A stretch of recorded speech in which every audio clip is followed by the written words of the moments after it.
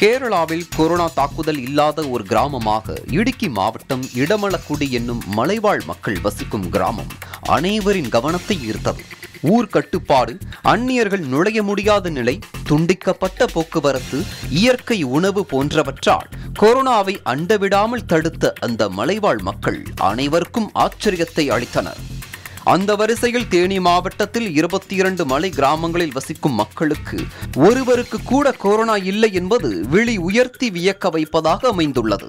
தேனியிலிருந்து முப்பத்தைந்து கிலோமீட்டர் தொலைவில் அமைந்துள்ளது அகமலை ஊராட்சி. இந்த ஊராட்சிக்குட்பட்ட ஊரடி ஊத்துக்காடு மருதையனூர் பெரிய மூங்கில் சின்ன மூங்கில் பட்டூர் விக்கிரமாதித்தன் தொழு அகமலை கரும்பாறை குரவன்குழி கம்பாபாறை அலங்காரம் அண்ணாநகர் கானகமஞ்சி சுப்பிரமணியபுரம் வாழை மரத்தொழு சொக்கநலை கண்ணக்கரை மற்றும் Kottakudi ஊராட்சிக்குட்பட்ட Top Station central Karippatti Kolukkumalai Kottakudi என்று இந்த இருபத்தி இரண்டு மலை கிராமங்களில் சுமார் இருபத்தைந்தாயிரத்திற்கும் மேற்பட்ட மக்கள் வசிக்கின்றனர்.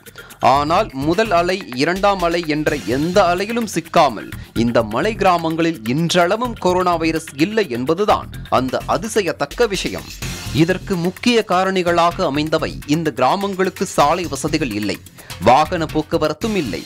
வெளியூர் ஆட்கள் உள்ளே செல்ல வேண்டுமென்றால் ஊர் தலைவரை கேட்க வேண்டும். அதற்கு முன் வனத்துறையின் அனுமதி வேண்டும். இவையெல்லாம் இந்த மக்களை கொரோனா தொற்று பரவலில் இருந்து காக்க இயற்கையாகவே அமைந்த சமூக இடைவெளிகள் ஒரு கிராமத்திற்கும் இன்னொரு கிராமத்திற்கும் இடையே ஒன்று முதல் இரண்டு கிலோமீட்டர் இடைவெளி இருப்பது குறிப்பிடத்தக்கது.